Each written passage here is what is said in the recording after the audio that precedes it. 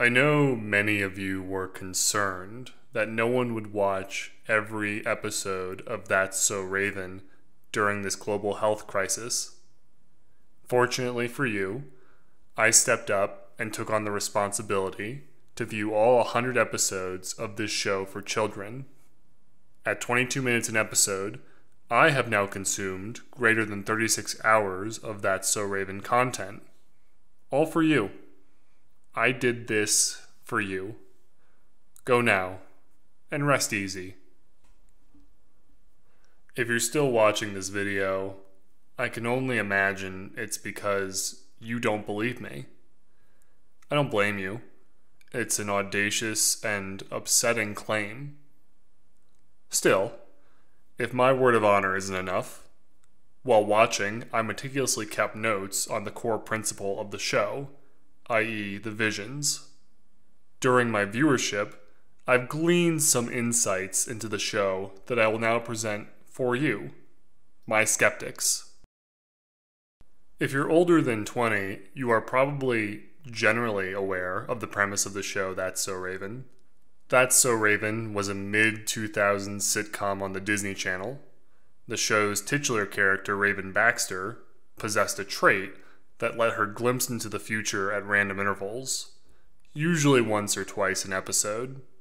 This ability frequently put Raven and her friends and family in these wacky and unpredictable situations.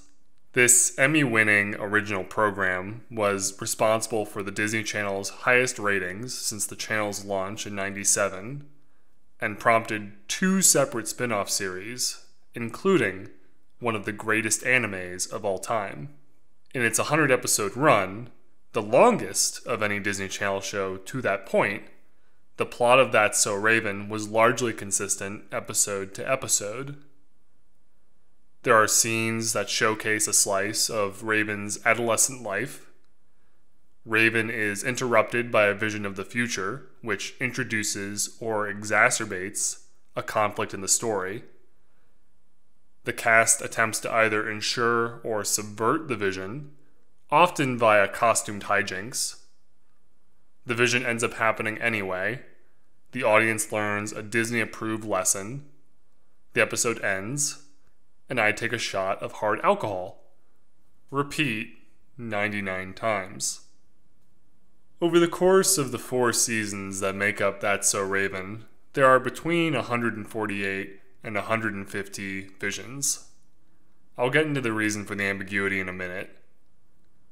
Not all of these visions are experienced by Raven, and not all visions are consistent in how they manifest. As a man of science, I developed a set of criteria against which each vision event was evaluated. I did this because seeing into the future is really not as straightforward as you might think. Those of you familiar with the show will recall that each vision is precipitated by Raven having a moment where she glances off screen, the camera centers on her face, and there's a zoom effect into her eyes. While this series of actions would probably be considered the standard for casual viewers, not all visions follow this exact formula. So, rather than exclude visions that didn't match this template, I redefined what counted as a vision. My criteria is as follows 1. A supernatural occurrence takes place in the episode. 2. Said occurrence portends an event or series of events. 3. The character experienced the occurrence, recognizes it as supernatural within the logic of the show. And finally, the occurrence is specific, providing clear details to the character. Now, you might be thinking this is overdoing it and stupid, but you're only half right. You see, these were important testing points and came into play frequently throughout my analysis. For example, Raven experiences vibes, or feelings about a situation, that give her a general sense of the future I didn't remember these vibes when I first watched the show, you know, when I was a child, but they happen frequently enough. In Season 1, Episode 8, Saving Psychic Raven, She has her first set of vibes, which manifest as a fuzzy premonition of two people being mad at her. Under my criteria, these vibes don't count as visions because they're vague. Even with my enhanced definition in place, there were still two visions that scurried the line of criteria. I elected to include these two into my analyses, but they warranted enough consideration on my part to be worthy of a disclaimer. I'll talk about them now, so any academics watching can decide for themselves whether to include them in any publications on the topic. The first vision was in that same episode, Season 1, Episode 8 Saving Psychic Raven.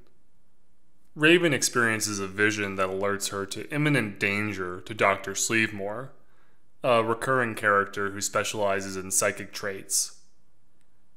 The show makes the choice, probably because of graphic violence, not to display the vision to the audience, which makes it unclear just how specific the vision was. The same thing happens with a disco ball in Season 2, Episode 15 He's Got the Power. Still, the vision gave Raven enough foresight to warn Dr. Sleevemore about the danger, so I kept it in the count. The second vision is Season 1, Episode 19 Escape Claus. In the show's Christmas episode, Santa Claus sends Raven back in time to before a vision had occurred.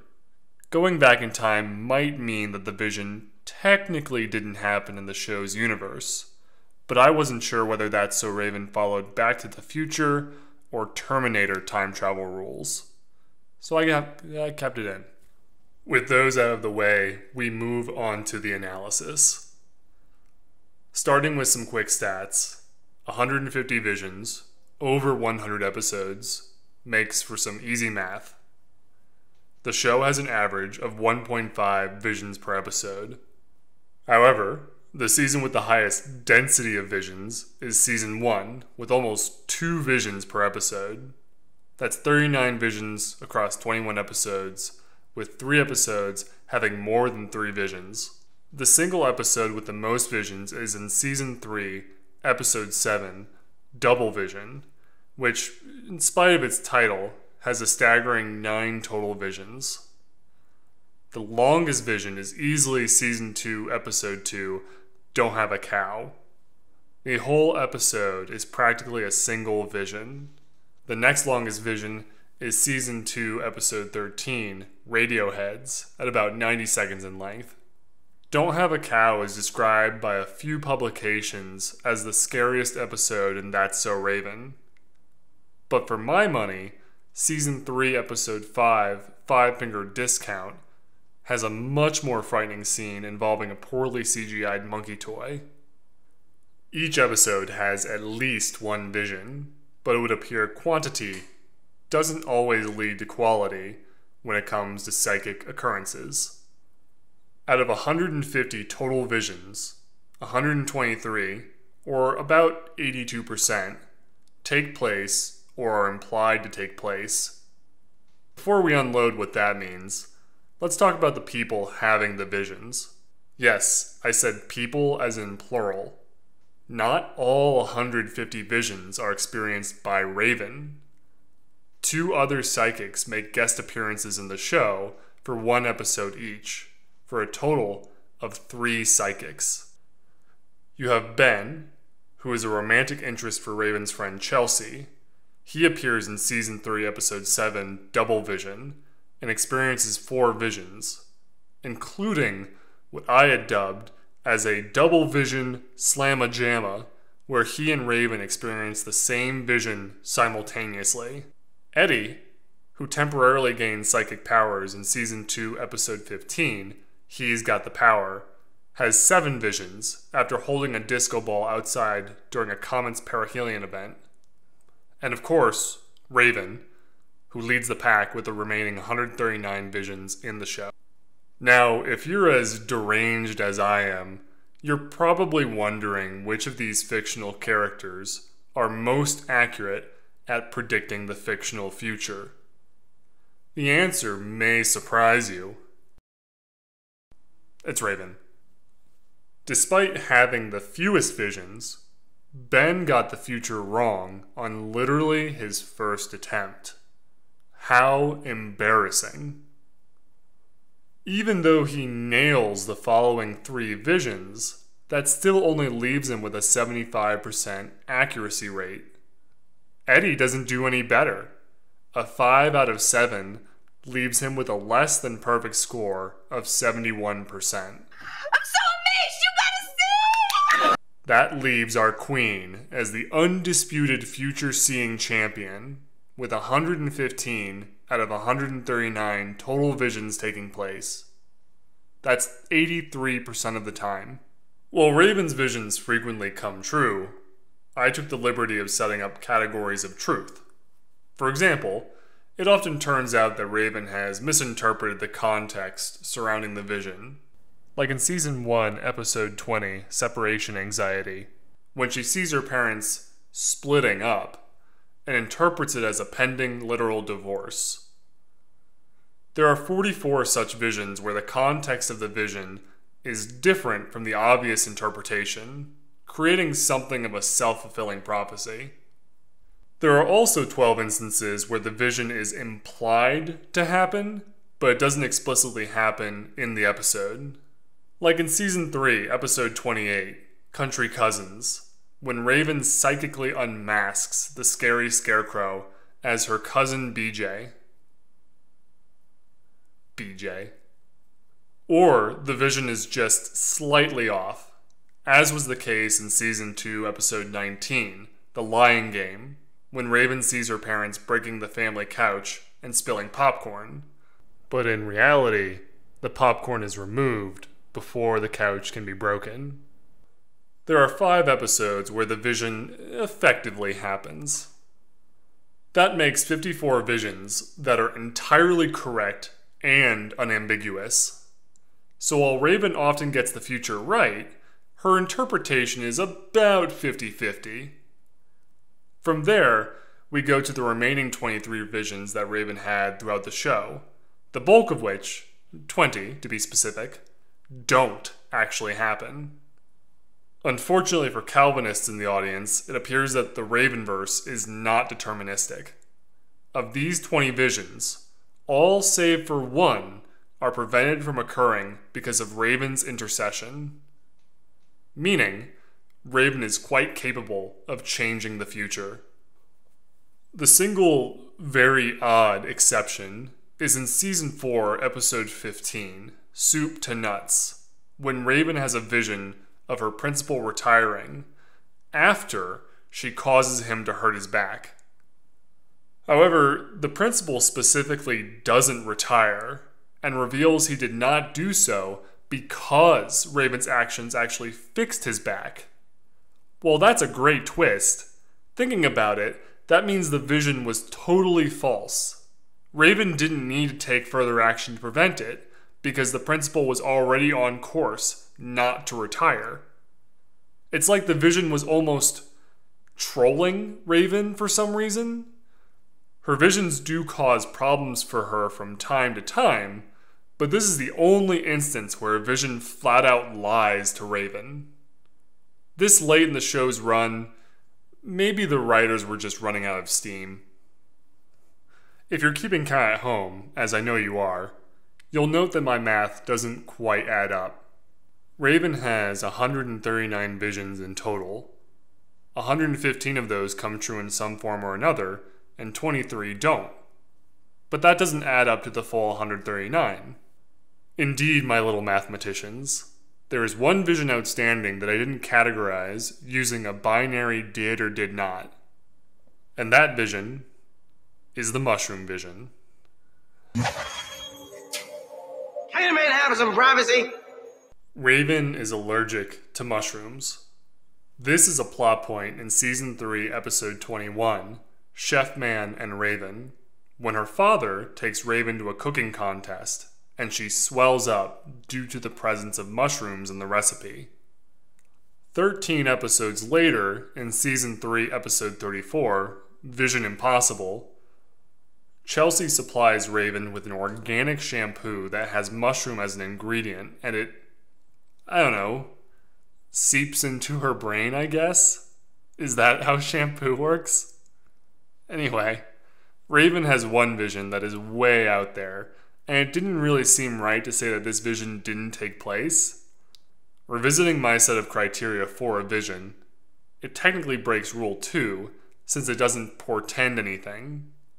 But it was probably supposed to, right? Like the pituitary gland or whatever part of the brain that sends up the visions meant to send one thing, but it got confused because of the mushroom allergy. I don't know. The nature of Raven's visions is definitely a concept worth exploring.